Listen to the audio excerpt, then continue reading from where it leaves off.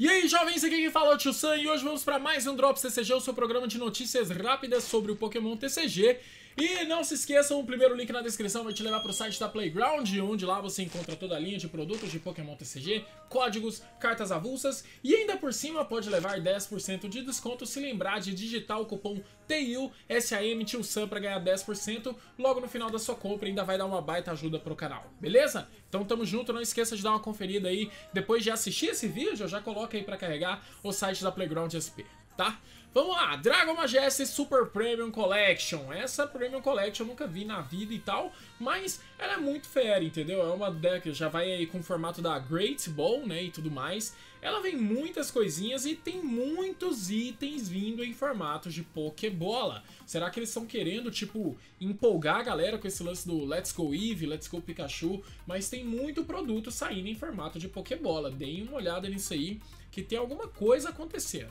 Bom, teremos uma rara Rainbow, entendeu? Promo do King GX, teremos uma rara Rainbow do Dragonite e também teremos uma figura do Dragonite. Então, tipo, para quem é fã de Dragonite aí, vai ter a miniaturinha dele, o que é muito fera, cara, é muito bonito. Teremos 10 boosters de Dragon Majestic, que é uma coleção que não tem booster box, tá? Uma coleção que só vem nesses produtos específicos. Teremos três collector boxes, que é aquelas caixinhas tipo essa daqui, por exemplo, aí você pega, vem de papelão, vai vir temático, então você consegue guardar essas cartinhas. Isso aqui é muito bom de guardar carta, viu? Então eu recomendo. É um papelãozinho bonito e organizado. Nós temos um playmat que vale para jogar em torneios e tudo mais. E teremos também, tipo, livrinho e códigos para você ganhar tudo isso no Pokémon TCG Online. Lembrando que temos outro produto que tem ali a Premium Powers e tudo mais, e a edição europeia dela é bem mais simples, é bem mais humilde, não vem nesse negócio aí e tudo mais. Porém, as cartas vão vir e vai estar tá num preço mais em conta, né? Obviamente vai custar menos. Bom, temos aqui as versões em inglês de Dragon Majesty de algumas cartas. Temos o Reshiram, Peraligator, Quagsar, não só em inglês, nós temos aqui cartas em alemão e cartas em francês. Igual, por exemplo, o Quagsar ele chama Maraiste e eu nunca saberia disso, entendeu? O Flygon eu nem ousaria falar o nome do Flygon, que é uma coisa muito difícil para mim. Temos aí o Zekrom Tortunator, o Fitty Flint, a Zinnia e o Vela Volcanion Park. Então, essas cartas aí a gente já viu, aqui já fez review de todas elas nos drops TCG antigos, mas agora nós temos esses aí. Lembrando que nós temos outros spoilers novos de Soy Lua 8, que tava uma coleção meio indiferente, mas agora já começou a bombar um pouquinho mais.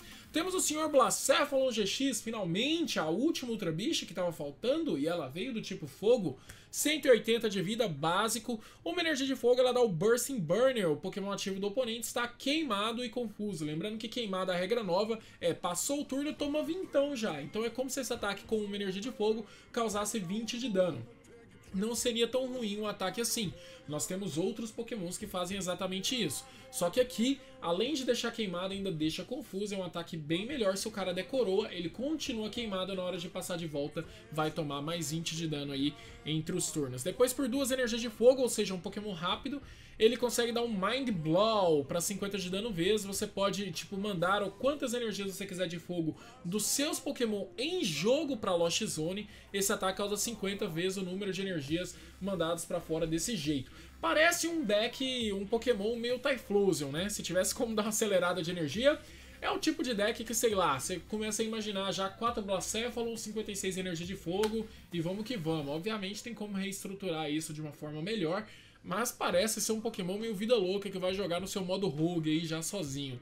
Depois ele tem o GX, uma energia de fogo Burst GX. Você descarta um dos seus prêmios. Se aquela carta for uma energia, liga em um dos seus Pokémon. Ou seja, você compra um prêmio, né? Porque descartou o prêmio, basicamente você tem um prêmio a menos ali. E se estiver faltando apenas ele, sim, se você usar esse GX, você vence a partida. É interessante. Nós temos aqui também Senhorita Naganadel, dessa vez não é a versão GX, versão regular. Habilidade Charge Up, uma vez durante seu turno de atacar, você pode ligar energias básicas da sua pilha de descarte neste Pokémon, somente nele. Três energias incolores, Turning Point, 80 de dano mais, se você tiver exatamente três cartas de prêmio, faltando somente três, não três ou menos, três, esse ataque causa mais 80 de dano. Três energias para 160, ele puxa uma energia da pilha de descarte, Teoricamente você pode combar isso com a habilidade dela, mais colocar uma energia incolor dupla noturna exata e consegue dar esses 160 de dano, que com a faixa poderia ir para 190. Pode ser que seja interessante em alguma situação aí, é, é, é louvável. Temos aqui mais um estádio Estrela Prisma, o Heat Factory Prism Star. Bom, é, antes de atacar, você pode pegar uma energia de fogo da sua mão. Se você fizer isso, tipo, descartar uma energia de fogo da sua mão. Se você fizer isso, você compra três fucking cartas. É muita coisa, hein, velho. Enquanto esse estado estiver em jogo, qualquer jogador, tipo, que usar um item ou apoiador da mão para prevenir os efeitos ou descartar, tipo, é prevenido todos os efeitos nesse estádio. O que é um efeito padrão de todo estádio Estrela Prisma, para não deixar ele tão, né, tipo, sensível ali, né, ser descartado por um simples Field Blower. Então você ele fica em tempo por mais tempo, teoricamente, mas ele é quebrado por outro estádio. Bom, essa carta fica em jogo até que seja descartada tudo mais. Bom, e aí é, simplesmente você. Você simplesmente descarta ela. Se alguma carta for jogada com o mesmo nome, obviamente você não pode substituir estádio com o mesmo nome por outro estádio. Aqui nós temos o booster da Soy Lua 8, a Booster Box e alguns produtos exclusivos que devem estar beirando ali o Pokémon Center japonês, que é a Deck Box do Lugia, o Sleeve do Lugia, temos aqui também um sleeve do Suicune com uma aurora boreal ali no fundo, bem bonito, né, cara? Um sleeve do Blacephalon aí com uma vibe meio Carcassonne aí, a cidadezinha no fundo. E nós temos um da Luzamine Família, hein, esse sleeve. Que sleeve foda, hein, cara, do Gladion com a Lily. Lily Luzamine, muito foda a arte desse sleeve. E temos um playmat e eu, eu particularmente eu acho muito feio esses playmats com lugar de colocar as cartas. Então, eu não curto isso, ele vem na pegada japonesa com o Lugia grandão aí. Pode ser que algumas pessoas gostem e tudo mais. Aparentemente, quem comprar a Booster Box lá no Japão ganha um sleeve e uma deck box exclusiva da Whitney, que é aquela é, líder de ginásio que deu trabalho para todo mundo na segunda geração com a Miltank. Então tem alguma coisa aí bem exclusiva desses itens para quem estiver comprando a Booster Box uma pré-venda japonesa, parece que é uma coisa meio nova, viu? Também exclusiva do Pokémon Center japonês. Temos aqui um fichário novo que tem, tipo, todos os bichos novos aí de Ultração, Ultramon. E tem um estaca-taca perdido ali com uma arte. Tá todo mundo com uma arte meio 3D, bem desenhado, tipo da Wings, Ultra Necrosmo, todos eles, menos o estaca-taca. Eu acho até que o estaca-taca tá 3D também, mas mesmo ele sendo 3D, ele parece muito tá 2D na arte desse fichário. E temos o ficharinho ali, quem diria, hein? Com Eve e Pikachu. Que combinação, hein? Muito nova essa combinação aí, quem esperaria? E temos ali folhas de fichário com divisórias com a mesma arte desse fichário novo do Pokémon Center, que eu achei bem legal, inclusive, esse rolê. Mais spoilers só em Lua 8, temos a Choice Helmet, que é o mesmo símbolo ali, só que agora é o capacete de engenheiro. E aí esse Pokémon, o Pokémon que tiver ligado com essa carta, simplesmente toma 30 menos de dano de ataques dos seus do Pokémon do oponente GX e X. Então ele resiste 30, mas só existe 30 de X e GX. Eu acho que essa carta poderia ser melhor, né? Ela não precisava ter essa especificação de GX e X, ela podia tomar 30 a menos de todos os Pokémon. Não sei o quão broken isso seria se fosse esse texto, mas eu acho que poderia ser os 30 a menos geral, né? E temos aqui o Sudoudo novo, 110 de vida básico, uma energia de luta, ele dá o Hit Harder para 20 de dano mais. Se esse Pokémon for o seu Pokémon ativo e tomou dano durante o último turno do oponente, esse ataque causa mais 80 de dano. Seria para uma energia 100. Essa carta é extremamente absurda em pré-releases e em batalhas amadoras entre jogadores casuais. Né? Se você tiver quatro Sudoudos desse, ele vai ser muito forte com uma simples energia. Dentro do competitivo não tem espaço, mas é o tipo de carta que desbalanceia totalmente o jogo entre decks iniciais, jogadores casuais e pré-release. Muito forte aí esse Sudoudo até o momento. Lá no Walmart a gente tem uma repaginação de alguns produtos. A o Alon Raichu tem a sua box própria, o Marshadow tem a sua box própria e o Silvally também tem a sua box própria. Porém, agora eles estão vindo no pacote onde vem dois boosters e a miniatura. Acontece, algumas lojas têm permissão de criar os seus próprios produtos, então basicamente eles abrem esse produto que não estava vendendo ocupam um espaço muito grande no estoque e eles conseguem repaginar esse produto dando esse novo ar. Esse produto é bem feio e eu espero que a Copag simplesmente dê um desconto se precisar se livrar desse tipo de produto e não traga esse produto para nós. Ele vem só com dois boosterzinhos e a miniatura. Seria de fácil acesso para quem quer colecionar miniatura, mas na minha opinião o outro produto ele tem uma cara muito bonita para ser dado de presente e tudo mais. Eu espero que a gente evite isso por aqui. Lá no Pokémon Center japonês, para comemorar os 20 anos de aniversário, teremos uma carta do Red's Pikachu, né? O Pikachu do Red. E na minha sincera opinião, a arte dessa carta ela tá muito feia. Ela tem um potencial de brilhar de uma forma é, nova, diferenciada. Ela tem ali só um negócio meio avermelhado no fundo, com uma luz ali, um fundo meio abstrato, cheio de iluminações. Esse Pikachu ele tem 70 de vida, com 3 energias é, elétricas, ele bate 100 de dano e toma 30 de dano.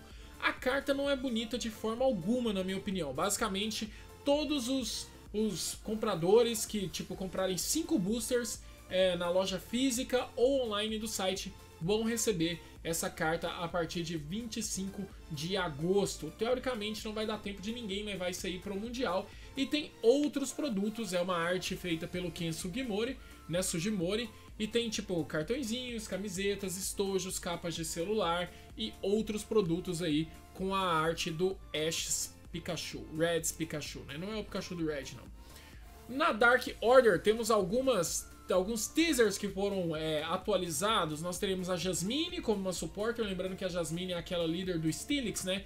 Dos pokémons metálicos e tudo mais. O Steelix GX aparentemente também, é, por ser o pokémon de assinatura da Jasmine, deve estar nesse set. O Anfaro GX tem um ataque que pode dar 150 de dano por uma energia. A gente ainda não sabe o texto dele nem nada, mas é um spoiler bem seguro falando que ele faz isso. O Rupa GX parece que tem um ataque no qual tem alvo direto em a Pokémon GX e Pokémon X. Então, o Rupa tá aí sempre sendo uma barreira, uma baita barreira. Agora a gente não sabe se ele pode dar alvo, como o primeiro Rupa X fazia, né? Buscava no deck esses Pokémon e trazia para campo, ou se ele vai ter um ataque no qual atinge todos esses Pokémons com essas nomenclaturas GX e X em campo. A gente sabe só que eles vão interagir. Tem um novo estádio que, assim como os estádios de Estrela Prisma, ele vai estar tá focado no tipo Dark. Então, imagino eu que vai ser outro estágio Estrela Prisma e tudo mais. Várias cartas vão utilizar a mecânica Lost Zone, então essa coleção dos Pokémons Noturno vão finalmente aí tentar trazer, porque todas as vezes que a Lost Zone esteve presente no mundo do Pokémon CG, nunca foi nada tão relevante, apesar de que tinha o Gengar X ali, que tinha, era um pouco interessante, era o Gengar Prime na verdade, que era levemente interessante, tinha uma win condition diferenciada do jogo, mas nunca vingou tanto assim. Vamos ver se agora é a hora. Então tem aí alguns rumores de que tipo é, ambos jogadores podem ter as mãos jogadas na Lost Zone, dependendo da situação, com algumas interações de cartas. Os pokémons metálicos desse, carta, desse, desse set são absolutamente prontos para counterar os pokémons da Fairy Rise diretamente, né? Porque a gente veio com os pokémons de fada bombando muito, que é a coleção anterior, e agora vem os pokémons noturnos, que meio que não tem tanta relevância assim, chegando, mas junto com os noturnos tem os pokémons metálicos, que chegam para dar um certo counter nos pokémons de fada, que vem para ser meta absoluto, né, tipo no momento ali, assim como durante a Lost Thunder também vem os pokémons elétricos ali para ajudar um pouquinho para dar um up nesse tipo dentro dos decks do formato. E esse set simplesmente, tipo, vai ter muitos pokémons fortes que não são GX aparentemente. Será? Bom, eles sempre prometem isso, que vão ter cartas que não são GX que jogam bastante, mas eu não vejo isso acontecendo com uma certa frequência. Na GX Ultra Shine nós temos algumas coisas reveladas também da informação dessa coleção, o que na minha opinião tende a ser a última coleção do bloco Sol e Lua, cara. Eu tô sentindo isso, porque parece muito uma coleção especial e a gente sabe que vai ter alguns pokémons, alguns reprints aí, né? Lele, Zoroark e Buzzhole. Bom, as informações que a gente tem de GX Ultra Shine é que é um set que vai ter cartas inéditas, não vai ser só reprint, teremos reprints com as mesmas artes, sem mudança alguma, a mesma carta vindo em outro booster, e teremos reprints com artes diferentes. Teremos essas três modalidades o que tem tudo para ser realmente o corpo de uma coleção premium. Né? Tapu Lele deve estar tá vindo, Tapu Fini vai vir de uma forma diferenciada. Nós temos os Subway Bosses, né? que são aqueles carinhos do metrô. Eles vão vir como uma carta apoiador desse set, com uma arte regular, com uma arte full arts também está garantido, mas a gente ainda não sabe nenhum texto dele o que que essas cartas vão fazer. E agora para finalizar o vídeo, mais alguns spoilers de Soil 8, não tão relevantes assim, mas temos o Sr. Dolphin, tem muita gente que gosta da do, do jeito que essa carta normalmente joga no Pokémon CG. 130 de vida, do tipo lutador, habilidade Sturdy. Se esse Pokémon tiver com a vida cheia e ele for nocauteado por um ataque de algum Pokémon do oponente, ele não é nocauteado, ele fica em campo com 10 de vida. Baita habilidade, né? Legal esse efeito. Por uma energia de luta e duas incolores, ele dá o Rolling Spin para 70 de dano. E durante o próximo turno, o Pokémon, esse ataque do Rolling Spin vai causar 70 mais de dano. Então são três energias para 70. Depois, no próximo turno, ele causa mais 70 de dano. É bem bom isso aí, em três energias para 140 e ele ainda não morre, né? Ele vai bater os 70, subiu. No próximo turno o cara vai bater nele. Ele não é nocauteado, né? Porque ou ele vai tomar menos dano do que a vida total. Se ele tomar a vida total, ele segura com 10 de dano. E aí no próximo turno ele pode bater esse 140, bem interessante. Temos também o Azumarill, do tipo fada, 100 de vida. Ele, por uma energia de fada, ele dá o Droplet Search, procura no deck por 8 cartas do deck, escolhe um número de energias que você encontrar ali, olha as primeiras 8 cartas do deck, escolhe o tanto de energia que você encontrar por ali e coloca nos seus pokémons da forma que você quiser, e depois embaralha as outras cartas. Bom, ele é parecido um pouco com o Togekiss, né, cara, que a gente tinha anteriormente, só que agora é o Azumarill fazendo isso. Simplesmente olha as oito primeiras energias e coloca da forma que você quiser. É interessante, às vezes joga até com o próprio Blacéfalo GX, né? Num roguezinho meio, meio safado aí nesse jogo. Uma energia de fada e duas incolores, ele dá o Play Rough para 60 de dano, joga uma moeda se der cara, causa mais 30 de dano. Aí já não é tão legal assim. E aí nós temos uma promo aqui do Corocoro, saiu para nós, o Sr. Typhlosion ganha uma versão e tá bem bonito nessa carta. Ele tem 150 de vida, uma energia de fogo, ele dá o Explosive Ignition, procura no seu deck por até 3 energias de fogo e liga nos seus Pokémon da forma que você quiser, embaralha o deck. Foda isso daí, hein? Depois, por duas energias de fogo e um incolor, ele dá o Burst Inferno para 100 de dano e o Pokémon ativo do oponente está queimado. Então é 3 energias para basicamente 120 garantido. Não é uma carta ruim, é interessante, mas não é tão divertido quanto o nosso Typhlosion lá que a gente tinha em Breakthrough, se não me engano. Era um Typhlosion mais legal. Bom, pessoal, não se esqueçam de olhar o primeiro link para ir para o site da Playground de São Paulo, inclusive, cara. Tem a versão de Salvador e tem a versão de São Paulo para cartas avulsas de Pokémon TCG. A versão de São Paulo, 10% de desconto em toda a linha de Pokémon TCG. E se você quiser uma Booster Box da coleção nova, não se esqueçam, tá lá na aba de promoções do Tio Sam, tá com 15% de desconto essa Booster Box. Se você comprar, digitar o código do canal, você vai estar tá dando uma baita força pro canal. Então espero que você consiga fazer uma compra bem legal lá na Playground SP, tá bom? Gente, espero que vocês estejam passando por um ótimo dia. Fiquem com Deus, aquele abraço e Bro Pitch dos Brothers para encerrar. Tamo junto, até a próxima, valeu demais! Uh!